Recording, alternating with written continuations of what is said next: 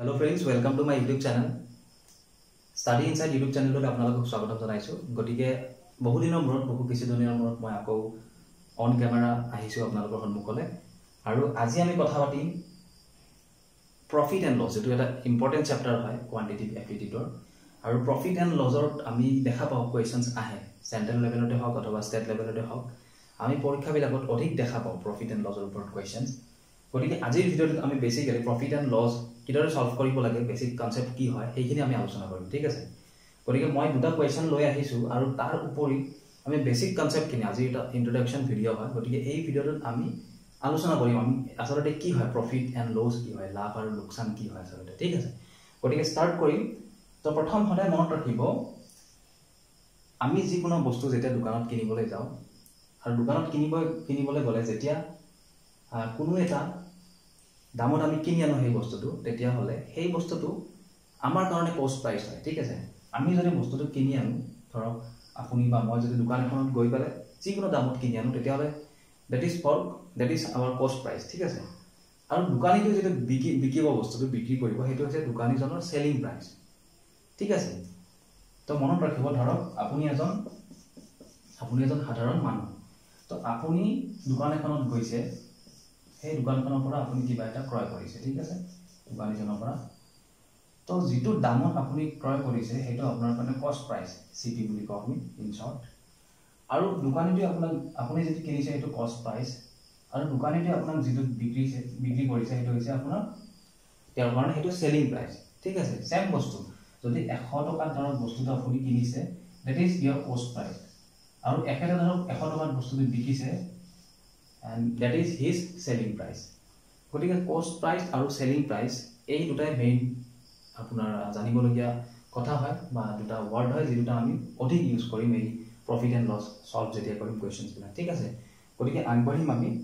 ইয়াতে চাওক সদায় মনত ৰাখিব প্ৰফিট এণ্ড লছত আমি বিশেষ ফৰ্মুলা পিছত আমি দৌৰিব নালাগে। ঠিক আছে? ফৰ্মুলা একো বিশেষ মনত ৰাখিবলগীয়া নাই। মই জাষ্ট এটা ফৰ্মুলা মনত ৰাখিবলৈ দিম বাকী ফৰ্মুলা মই আপোনালোকক কেতিয়াও মনত ৰাখিবলৈ নিদিম মই আগতো যিবিলাক ভিডিঅ'ত কৈছোঁ যে ফৰ্মুলাৰ পিছত আপোনালোকে নদৌৰিব। কনচেপ্টৰ পিছত দৌৰক ফৰ্মুলা আপোনাৰ ওচৰত আহি যাব অট'মেটিকেলি এতিয়া চাওক তো মনত ৰাখিব কষ্ট প্ৰাইচ মানে হৈছে যিটো প্ৰাইচত এটা বস্তু কিনা হয় ঠিক আছে? তাৰমানে আপোনাৰ যিটো প্ৰাইচত আপুনি বা যিকোনো ব্যক্তি এজনে কিবা এটা বস্তু কিনে নেকেড প্ৰাইচ যিটো য'ত কোনো লাভ জড়িত হৈ নাথাকে। আপুনি ধৰক হ'লচেলৰ পৰা কিবা এটা বস্তু কিনি আনে আপুনি এজন দোকানী তো আপুনি যিটো দামত হ'লচেলৰ পৰা কিনি আনিব সেইটো আপোনাৰ কাৰণে হ'ব কষ্ট প্ৰাইচ ঠিক আছে? আৰু চেলিং প্ৰাইচ চেলিং প্ৰাইচটো হৈছে যিটো প্ৰাইচ আপুনি প্ৰফিটটো ৰাখি পেলাই বিক্ৰী কৰে ঠিক আছে? প্ৰফিটটো ৰাখি পেলাই বিক্ৰী কৰে অথবা কেতিয়াবা আপুনি যিটো বস্তু বিক্ৰী কৰোঁতে আপোনাৰ লছো হ'ব পাৰে। Loss or profit loss or profit যদি জড়িত হৈ থাকে তেতিয়াহ'লে সেইটো চেলিং প্ৰাইচ হ'ব। ঠিক আছে আমি যেতিয়া নিউমাৰিকেলবিলাক কৰিম আপোনালোকে বুজি পাব আচলতে কি হয়। গতিকে এইখিনি মনত ৰাখিব কষ্ট প্ৰাইচ মানে যিটো দামত বস্তুটো কিনা হয় আৰু চেলিং প্ৰাইচ মানে যিটো দামত বস্তুটো বিক্ৰী কৰা হয়। এতিয়া উইথ ৰেচপেক্ট টু শ্বপকিপাৰ বা উইথ ৰেচপেক্ট টু ইউ সেইটো চেঞ্জ হৈ যাব পাৰে মই যিদৰে ক'লোঁ যে আপুনি যদি বস্তুটো কিনে আপোনাৰ কাৰণে সেইটো হ'ব কষ্ট প্ৰাইচ আৰু যদি কোনোবাই যদি সেইটো বিক্ৰী কৰে তেওঁৰ কাৰণে হ'ব চেলিং প্ৰাইচ ৰাইট গতিকে আমি আগবাঢ়িম ঠিক আছে?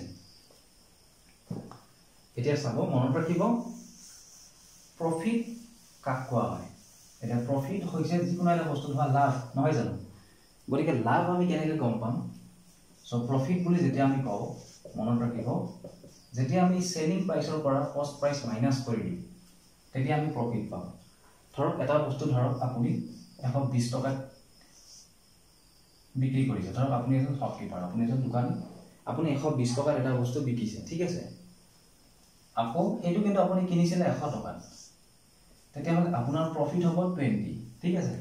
প্ৰফিট টুৱেণ্টি এতিয়া প্ৰফিট বেলেগ প্ৰফিট পাৰ্চেণ্টেজ বেলেগ ঠিক আছে? সদায় মনত ৰাখিব প্ৰফিট বুলি ক'লে আপোনাৰ যিকোনো এটা এমাউণ্ট যিটো আপোনাৰ লাভ হয়। আৰু প্ৰফিট পাৰ্চেণ্টেজ বুলি ক'লে হ'লে সেইটো শতকৰাত বুজাব মানে আউট অফ হাণ্ড্ৰেড ঠিক আছে? তো ইয়াত আমি কিন্তু প্ৰফিটৰ কথা কৈছোঁ প্ৰফিট পাৰ্চেণ্টেজৰ কথা নাই কোৱা ঠিক আছে? তো ঠিক একেদৰে ইয়াত অপজিট হৈছে লছ আমি যদি লছৰ কথা কওঁ তেতিয়াহ'লে আমি ক'ব পাৰোঁ কষ্ট প্ৰাইচ মাইনাছ চেলিং প্ৰাইচ ধৰক আপুনি বস্তুটো এশ টকাত কিনিছিলে কিন্তু আপুনি এনেকুৱা বেয়া দিন আহি গ'ল আপুনি আশী টকাত আপুনি বিক্ৰী কৰিব লগা হ'ল। বস্তুটোৰ ভেলু নাই ডিমাণ্ড নাই মাৰ্কেটত আপুনি আশী টকাত বিক্ৰী কৰিব লগা হ'ল। তো আল্টিমেটলি আপোনাৰ বিছ টকা লছ হয় ঠিক আছে এইটো লছ বুলি কোৱা হয়। আমি সকলোৱে জানো এইবিলাক কথা। তো আমি এনেকৈ ক'ব পাৰোঁ যেতিয়া চেলিং প্ৰাইচ আৰু কষ্ট প্ৰাইচটো যদি মাইনাছ কৰিলে যদি পজিটিভ ভেলু পাওঁ যদি পজিটিভ ভেলু পাওঁ that is profit we can say আৰু যদি নেগেটিভ ভেলু পাওঁ তেতিয়াহ'লে that is loss that's all একো নাই। ঠিক আছে সেইখিনিয়ে মেইন কথা। তো এতিয়া এতিয়া আহিলে পাৰ্চেণ্টেজ প্ৰফিট পাৰ্চেণ্টেজ কাম কৰা হয়। তো ইয়াত আটাইতকৈ এটি ডাঙৰ ইম্পৰ্টেণ্ট কথা মনত ৰাখিব পাৰ্চেণ্টেজ যেতিয়া আমি উলিয়াম প্ৰফিট পাৰ্চেণ্টেজেই হওক অথবা লছ পাৰ্চেণ্টেজেই হওক সদায় পাৰ্চেণ্টেজটো আপোনাৰ কি হয়? With respect to cost price আহে। With respect to cost price অৰ্থাৎ কিনা দাম। কিনা দাম যিটো আছে ধৰক ধৰক এগৰাকী ব্যক্তিয়ে এশ বিছ টকাত এশ বিছ টকা হৈছে এটা বস্তুৰ চেলিং প্ৰাইচ এগৰাকী দোকানীৰ কাৰণে। ঠিক আছে? আৰু সেই বস্তুটো কষ্ট প্ৰাইচ আছিলে এশ টকা যিদৰে অলপ আগতে এক্সাম্পল মই দিছিলোঁ তো এইখিনি ডাটা ধৰক দিয়া আছে। তো চেলিং প্ৰাইচ হৈছে এশ বিছ টকা আৰু কষ্ট প্ৰাইচ আছিলে এশ টকা। তো এতিয়া প্ৰফিট কিমান হ'ব? So' profit equal price minus ঠিক আছে? এশ বিছ টকা। আকৌ কষ্ট প্ৰাইচ হৈছে এশ টকা। আমি গম পাইছোঁ বিছ টকা প্ৰফিট তো যেতিয়া আমি প্ৰফিট পাৰ্চেণ্টেজৰ কথা ক'ম তেতিয়া মনত ৰাখিব যিটো প্ৰফিট হৈছে যিখিনি প্ৰফিট হৈছে সেই প্ৰফিটখিনি ডিভাইড কৰি দিম আমি যিটো কষ্ট প্ৰাইচ আছে যিটো কষ্ট প্ৰাইচ আছে। আৰু যিহেতু পাৰ্চেণ্টেজ চাই চিম্বলটো ইয়াত আছে চ' ওৱান হাণ্ড্ৰেড এটা আমি ইয়াত দিম। So' we can cut this ultimately twenty percent profit যিহেতু এশ টকাৰ কথাত কৈ আছোঁ ইয়াতে গতিকে কাট কাট আউট হৈ গৈছে ইয়াতে এশ এশ। তো সেইকাৰণে টুৱেণ্টি পাৰ্চেণ্ট প্ৰফিটে হৈ গৈছে যদি এইটো যদি বেলেগ এটা ভেলু থাকিলেহেঁতেন তেতিয়াহ'লে হয়তো বেলেগ দেখিবলৈ পালেহেঁতেন আপোনালোকক। ঠিক আছে গতিকে যেতিয়া চামবিলাক কৰিম তেতিয়া গম পাব। মই বিশেষ ফৰ্মুলা ইউজ নকৰোঁ। তো যিখিনি আমি যিখিনি বস্তু মানে ক্লাছিকেলি যাওঁ আমি ক্লাছিকেলি নাযাওঁ ঠিক আছে? তো একাডেমিক ক্লাছত যেনেকৈ শিকোৱা হয় তেনেকৈ আমি নিশিকোঁ যিটো আমি শ্বৰ্টকাট কৰিব পাৰোঁ জাষ্ট আমাক আনচাৰ লাগে। পৰীক্ষাত যিহেতু আমাক আনচাৰ লাগে গতিকে আমি শ্বৰ্টকাট যিকোনো সহায় যিকোনো ট্ৰিকৰ সহায়ত যাতে আমি সোনকালে বস্তুটো এচিভ কৰিব পাৰোঁ আনচাৰটো ঠিক আছে? তো এতিয়া চাওক লছ একে লছটো একে হয়। লছ পাৰ্চেণ্টেজ লছ যদি ক'বলৈ যাওঁ তেতিয়াহ'লে যিখিনি লছ হৈছে এমাউণ্টটো মানে যিটো এমাউণ্ট লছ হৈছে তাক আমি পষ্ট প্ৰাইচেদি যেতিয়া ডিভাইড দিম আৰু হাণ্ড্ৰেড এটা মাল্টিপ্লাই কৰি দিম। ঠিক আছে?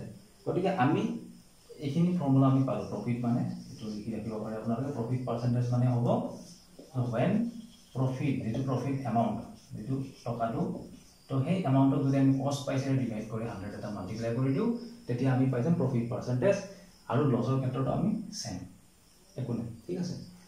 তো বাকী আগত মই কি ক'লোঁ যে প্ৰফিট মানে কি হয় যেতিয়া selling price minus cost price হয় আৰু লছ মানে হ'ব আপোনাৰ কষ্ট প্ৰাইচ মাইনাছ চেলিং প্ৰাইচ ঠিক আছে? বা সদায় প্ৰফিটটো পজিটিভ যেতিয়া আহে এই এই দুটা ৰিজাল্ট যেতিয়া পজিটিভ আহে তেতিয়া আমি আমি তাত প্ৰফিট ক'ব পাৰোঁ বা এই দুটা মাইনাছ কৰিলে যেতিয়া নেগেটিভ আহে নেগেটিভ মানে এইটোততো নিগেটিভ নাহিব এইটোত যেতিয়া নেগেটিভ আহে। চৰি এইটোত যেতিয়া নিগেটিভ ভেলু আহে তেতিয়াহ'লে আমি লছ বুলি ক'ব পাৰোঁ নট প্ৰফিট তো আপোনালোকে যেতিয়া চামবিলাক কৰিম তেতিয়া গম পাব। ঠিক আছে? তো ইয়াৰ পিছতে ইয়াৰ পিছতে আমি এটা বেচিক ফৰ্মুলা আছে। সেই বেচিক ফৰ্মুলাটো আমি বুজিবলৈ ট্ৰাই কৰিম। সেইটো ফৰ্মুলা বহুত আপোনালোকে তাত ডিপেণ্ডেণ্ট হ'ব পাৰে সেইটো। যিকোনো এক্সামত বহুত শ্বৰ্টকাট হয়। তো সেইটো ফৰ্মুলা মনত ৰাখিব। বিশেষ মই ফৰ্মুলা নিশিকাওঁ আপোনালোকে বুকত চালে দেখা পাব বিভিন্ন ফৰ্মুলা তো এইটো মনত ৰাখিব selling price equal to cost price into hundred plus minus profit or loss by hundred so' this is the this is the common formula and which we have to memorize only this formula অকল এইটো ফৰ্মুলাই আমি মুখস্থ কৰিব লাগিব বাকী একো নালাগে। বাকীটো আপোনালোকে বুজি পাইছে প্ৰফিট মানে হয় আপোনাৰ selling price minus cost price loss মানে হয় cost price minus selling price তো সেইবিলাক বুজি পাইছে তাত বিশেষ একো নাই। যদি লিখি লয় লিখি ল'ব পাৰে। কিন্তু এইটো মনত ৰাখিব যেতিয়া আমাক চেলিং প্ৰাইচ উলিয়াব উলিয়াব দিয়ে আমাৰ আমাৰ হাতত যদি চেলিং প্ৰাইচ নাথাকে আমি যদি আননন এটা ফেক্টৰ হয় চেলিং প্ৰাইচটো তেতিয়া আমাক যদি কষ্ট প্ৰাইচ আৰু যদি প্ৰফিট অৰ লছ প্ৰফিট বা লছ দিয়া থাকে তেতিয়াহ'লে আমি চেলিং প্ৰাইচটো উলিয়াব পাৰিম ঠিক আছে? ঠিক একেদৰে যদি আমাক চেলিং প্ৰাইচ দিয়া থাকে আমি প্ৰফিট লছ দিয়া থাকে তেতিয়াহ'লে আমি কষ্ট প্ৰাইচ উলিয়াব পাৰিম ইয়াৰ পৰা আমি মাল্টিপ্লাই কৰি কষ্ট মাল্টিপ্লাই কৰি উলিয়াব পাৰিম ঠিক আছে? বহুতে আকৌ এই ফৰ্মুলাবিলাক মনত ৰাখে ইমান মনত ৰাখিব নালাগে। আপুনি পৰীক্ষাত ক্ৰছ মাল্টিপ্লিকেশ্যন কৰিলে ওলাই যাব ঠিক আছে? গতিকে ইমান মেমৰাইজ কৰিব দৰকাৰ নাই আপুনি জাষ্ট এইটো ফৰ্মুলা মনত ৰাখিব যে S P to C P into hundred plus minus profit or loss divided by hundred this is the basic formula and you have to memorize this one only ঠিক আছে? তো আমি ফ্ৰেণ্ডছ এই যিখিনি কুৱেশ্যনছ আছে এইখিনি আলোচনা কৰিম এতিয়া ঠিক আছে? যদি লিখি লৈ ল'ব পাৰে এইটো? তো ইয়াতে কুৱেশ্যন নম্বৰ ওৱানত কি কোৱা হৈছে চাওক। Alfred buys a scooter for rupees 4,700 and spends rupees 800 on its repairing. তো আলফ্ৰেড নামৰ ল'ৰা এজনে কি কৰিছে? আলফ্ৰেডৰ নামৰ ল'ৰা এজনে কৰিছে আপোনাৰ কি? ফ'ৰ থাউজেণ্ড ছেভেন হাণ্ড্ৰেড তো কষ্ট প্ৰাইচ কিমান হয় তাৰ কাৰণে? যিখন স্কুটাৰ কিনিছে four thousand and seven hundred ঠিক আছে? And spends rupees eight hundred on its repairing আকৌ স্কুটাৰখন কিনি তেখেতে ৰিপেয়াৰিং কৰিছে কিছু প্ৰব্লেম আছিলে। তো তেখেতে কি কৰিছে আকৌ আঠশ টকা এটা ৰিপেয়াৰিং কৰিছে। তো ডেফিনেটলি যেতিয়া ৰিপেয়াৰিঙৰ কথা আহে সেইটো কষ্ট প্ৰাইচত এড হৈ যায় মনত ৰাখিব। কিনা দামৰ লগত এড হৈ যায়। যিহেতু আপুনি তাক ভাল কৰিছে আল্টিমেটলি স্কুটাৰখনতে খটাইছে ন পইচাটো। তো that is cost price so' হাতে হাতে পোন্ধৰ পাঁচ হাজাৰ পাঁচশ টকা খৰচ কৰিছে। আকৌ কি কৈছে তাৰপিছত আলফ্ৰেডে ভাবিলে নাই মোক স্কুটাৰখন ভাল লগা নাই মই বিকি দিম। তেওঁ বিক্ৰী কৰিব ভাবিলে। The scooter for rupees five thousand and eight hundred তাৰপিছত চেলিং কৰিলে চেলিং প্ৰাইচ পাঁচ হাজাৰ আঠশত চেলিং কৰিলে। ইয়াতে সুধিছে যে his gain percentage is gain means profit gain আৰু প্ৰফিট একে মনত ৰাখিব। গেইন পাৰ্চেণ্টেজ গতিকে প্ৰফিট পাৰ্চেণ্টেজ সুধিছে। তো প্ৰফিট কিমান হ'ব? আমি মই কৈছিলোঁ যে চেলিং প্ৰাইচৰ পৰা যেতিয়া কষ্ট প্ৰাইচ মাইনাছ কৰি দিম তেতিয়া আমি প্ৰফিট পাম ৰাইট তো আমি গম পালোঁ। চ' আমি কি গম পালোঁ? যে প্ৰফিট কিমান হৈছে? তো আঠাৱন্নশৰ পৰা পঁচপন্নশ মানে ফিফটি এইট হাণ্ড্ৰেডৰ পৰা ফিফটি ফাইভ হাণ্ড্ৰেড মাইনাছ কৰিলে কিমান হ'ব? থ্ৰী হাণ্ড্ৰেড ফ্ৰেণ্ডছ এইখিনিতো আপোনালোকক বুজাব নালাগে। নহয় জানো? ফাইভ ফাইভ থাউজেণ্ড এইট হাণ্ড্ৰেডৰ পৰা five thousand five hundred minus কৰিলে তিনিশ টকা। যিটো প্ৰফিট হৈছে তাৰমানে আলফ্ৰেডে তিনিশ টকা লাভ হৈছে। কিন্তু তিনিশ টকা কিমানত লাভ হৈছে? মই সদায় কৈছিলোঁ যে প্ৰফিট বা লছ আমি উইথ ৰেচপেক্ট টু কষ্ট পাই ৰিমেম্বাৰ যিটো কিনা দাম থাকে কিনা দামৰ ওপৰতহে লাভ আৰু লোকচান উলিওৱা হয়। গতিকে যিহেতু প্ৰফিট তিনি হাজাৰ চৰি তিনিশ হৈছে। গতিকে প্ৰফিট পাৰ্চেণ্টেজ যদি আমি উলিয়াওঁ তেতিয়াহ'লে এই তিনিশক আমি যিটো পষ্ট প্ৰাইচ আছিলে পাঁচ হাজাৰ পাঁচশ। এইটো পষ্ট প্ৰাইচ কিন্তু এটা হাণ্ড্ৰেড লাগিব নহয় যিহেতু আমি পাৰ্চেণ্টেজত উলিয়াই আছোঁ। গতিকে এই হাণ্ড্ৰেডৰ এই জিৰ' এই জিৰ' জিৰ' জিৰ' গ'ল। পাঁচেদি ইলেভেন টাইমছ ফাইভ আৰু ফাইভ ছিক্স যে থাৰ্টি এটা জিৰ' আহিব। চ' আল্টিমেটলি আমি গম পালোঁ ছিক্সটি বাই ইলেভেন ঠিক আছে? ছিক্সটি বাই ইলেভেন তো ছিক্সটি বাই ইলেভেন আপোনাৰ অপশ্যনত নাথাকে। অপশ্যনত আপোনাৰ সদায় ভগ্নাংশত থাকে যিটো সমষ্টত থাকে। তো আমি ছিক্সটিক যদি ইলেভেনেৰে ডিভাইড কৰোঁ ইলেভেন ফাইভ যা ফিফটি ফাইভ পাঁচ ৰৈ যাব ন? তো ইয়াক আমি কেনেকৈ লিখিব পাৰোঁ? এই যিটো ফাইভ থাকে ইয়াক পাঁচ সমস্ত ফাইভ বাই ইলেভেন এইটো হৈছে আপোনাৰ এনচাৰ ৰাইট চ' এনেকৈ আপুনি অপশ্যনত পাব এইটো এনচাৰ হয় তো একো নাই এইবিলাক চাম মুখত কৰিব পাৰি জাষ্ট মই আপোনালোকক দেখুৱাইছোঁ। বহুতে আকৌ ইয়াক বহুত C P minus S P S P কৰি দেখুৱাব। তেনেকুৱা নহয় যিহেতু আমি কম্পিটিটিভ এক্সাম দিব গৈ আছোঁ আমি ইমান বেছি ৰুলত যাব নালাগিব। আপোনাক ডেষ্টিনেশ্যন লাগে আপুনি কোনটো ৰাস্তাৰে গৈছে আপুনি তাত কিমান পাহাৰ পাইছে পৰ্বত পাইছে সেইটো দেখুৱাব নালাগে। ঠিক আছে? You are in a journey just you have to achieve your destination সেইটো মনত ৰাখিব। So' whatever friends to' next কুৱেশ্যনটো পিনে আমি আগবাঢ়িছোঁ এইটো কুৱেশ্যন হৈ গ'ল। নম্বৰ টু তো ইয়াত দিয়া হৈছে a man buys a cycle for rupees forty fourteen hundred fourteen hundred চৈধ্যশ টকাত এখন চাইকেল কিনিছিলে তেখেতে বাইক স্কুটাৰ কিনিছিলে তেখেতে চাইকেল কিনিছে তো a man buys a cycle for rupees fourteen hundred and sells it at a loss of fifteen percent তো চৈধ্যশ টকাত কিনিছে ডেফিনেটলি কষ্ট প্ৰাইচ চৈধ্যশ টকা আকৌ লছ পাৰ্চেণ্টেজ দিয়া আছে কিন্তু ইয়াতে লছ পাৰ্চেণ্টেজ দিয়া আছে কিমান ফিফটিন পাৰ্চেণ্ট তো ইয়াতে সুধিছে যে what is the selling price of the cycle তো আপুনি মই যে কৈছিলোঁ এটা মুখস্থ কৰিবলগীয়া ফৰ্মুলা যে S P equal to C P into hundred plus minus profit or loss by hundred তো যিহেতু এইটো কুৱেশ্যনত লছ হৈছে চ' আমি প্ৰফিটটো থাকিলে প্লাছ আৰু যদি লছটো থাকে মাইনাছ গতিকে যিহেতু প্ৰফিট নাই লছ আছে ইয়াতে মাইনাছটো ইউজ হ'ব ঠিক আছে? সেইটো ইউজ হ'ব যদি প্ৰফিট থাকিলেহেঁতেন তেতিয়া প্লাছটো ইউজ হ'লে হয় ইয়াত প্ৰফিট থাকিলে হয়। অল ৰাইট তো গতিকে যিহেতু লছ আছে কুৱেশ্যনটোত লছ আহিব ইয়াতে মাইনাছ আহিব। ঠিক আছে? চ' এইটো ফৰ্মুলাত বহুৱালে আপোনালোকে উলিয়াব পাৰিব। কিয় উলিয়াব পাৰিব? চি পি দিয়া আছে আমাক চি পি দিয়া আছে। লছ পাৰ্চেণ্টেজ দিয়া আছে লছ পাৰ্চেণ্টেজ আমি ইয়াতে বহাম। এশটো আমি জ্ঞাত ৰাখি আমি জানো এশৰ ভেলু নন ফেক্টৰ এশ এশ। তো আমি চি পি ডেফিনেটলি আমি উলিয়াব পাৰিম। পাৰিমনে ফ্ৰেণ্ডছ ঠিক আছে মই দেখুৱাই দি আছোঁ কিছুমানে হয়তো ভাবিব পাৰে চ' এছ পি ইকুৱেলটো কি হ'ব চি পি কিমান আছে চাওক ইয়াত চি পি চৈধ্যশ মানে কষ্ট প্ৰাইচ কিনা দাম minus hundred minus L L মানে কিমান ফিফটিন পাৰ্চেণ্ট বাই তলত হাণ্ড্ৰেড এই দুটা জিৰ' এই দুটা জিৰ' কেঞ্চেল ফৰ্টিন থাকিব ইয়াতে এইটটি ফাইভ থাকিব so' eighty five into fourteen কিমান হ'ব যিমান হয় সিমানে eighty five into fourteen four five জাৰ টুৱেণ্টি টু বত্ৰিছ চৌত্ৰিছ এক পাঁচ পাঁচ এক আঠ আঠ এঘাৰশ নব্বৈ ফ্ৰেণ্ডছ ন? এঘাৰশ নব্বৈ। চাৰি পাঁচ গুণ বিছ শূন্য দুই চাৰি আঠ গুণ বত্ৰিছ চৌত্ৰিছ এক পাঁচ গুণ পাঁচ এক আঠ গুণ আঠ জিৰ' ন তিনি এঘাৰ এঘাৰশ চল এঘাৰশ নব্বৈ টকা। এঘাৰশ নব্বৈ টকাত তেখেতে বিক্ৰী বিক্ৰী কৰিছে লছত বিক্ৰী কৰিছে বেচেৰে। চৈধ্যশ টকাত কিনি আৰু ফিফটিন পাৰ্চেণ্ট লছত বিক্ৰী কৰিছে। ছেকেণ্ড হেণ্ড চাইকেল আছিলে। তো যি কি নহওক ফ্ৰেণ্ডছ এতিয়া আমি এইটো শ্বৰ্টত কেনেকৈ কৰিব পাৰোঁ? ঠিক আছে এইখিনি ডাটা আছিলে অল ৰাইট এইখিনি কোনো প্ৰব্লেম নাই পৰীক্ষাত এনেকৈ কৰিলেও হ'ব আপোনালোকে। কিন্তু এনেকৈ কৰি থাকিলে কাম নহ'ব। ট্ৰেডিশ্যনেল ৱেত গ'লে আমি কাম নহ'ব আমি কি কৰিব লাগিব চাওক আমি কৰিব লাগিব কি?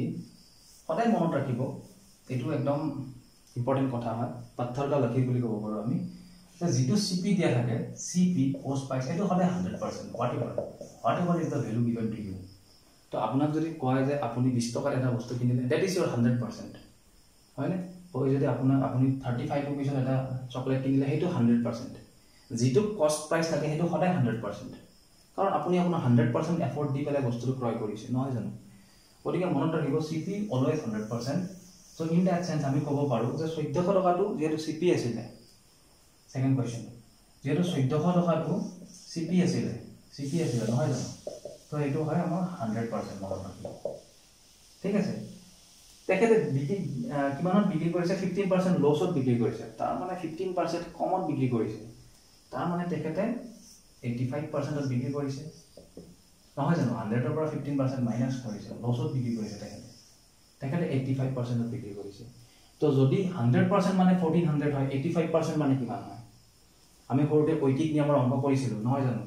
যে হাণ্ড্ৰেড পাৰ্চেণ্ট মানে যদি চৈধ্যশ টকা হয় তেতিয়াহ'লে ওৱান পাৰ্চেণ্ট মানে কিমান হ'ব?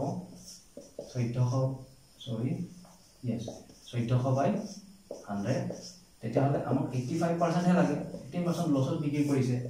চৈধ্যশ পূৰণ eighty five by hundred zero' zero' cancel এইটো ওৱান ওৱান নাইন জিৰ' যিটো আমি আগতো কৰিছিলোঁ। যিটো আমি আগত কৰিছিলোঁ one one nine zero' rupees one one nine zero' কিন্তু আমি ফৰ্মুলা সদায় কৰিছিলোঁ। এতিয়া ফৰ্মুলা নালাগে। এতিয়া আমি চাম হাণ্ড্ৰেড পাৰ্চেণ্ট হ'লে চৈধ্যশ টকা ফিফটিন পাৰ্চেণ্ট লছত বিক্ৰী কৰিছে এইটি ফাইভ পাৰ্চেণ্টত বিক্ৰী কৰিছে। এইটি ফাইভ পাৰ্চেণ্ট মানে কিমান হয়? চ' চৈধ্যশ টকাৰ এইটি ফাইভ পাৰ্চেণ্ট যিমান হয় এঘাৰশ নব্বৈ হয়। পৰীক্ষাত এনেকৈ টিক কৰি আহিব মই জাষ্ট দেখাইছোঁ আপোনালোকক কেনেকৈ ঠিক আছে ফ্ৰেণ্ড গতিকে এইখিনিয়ে এই দুটা চাম আপোনালোকক আজি কৰোৱালোঁ।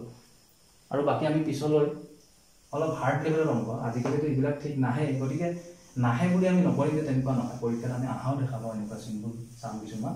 আৰু তাৰ লগতে বেছিক কনচেপ্টটো যেতিয়া ক্লিয়াৰ থাকিব আপোনালোকৰ তেতিয়াহে আপোনালোকে চামবিলাক কৰিব পাৰিব।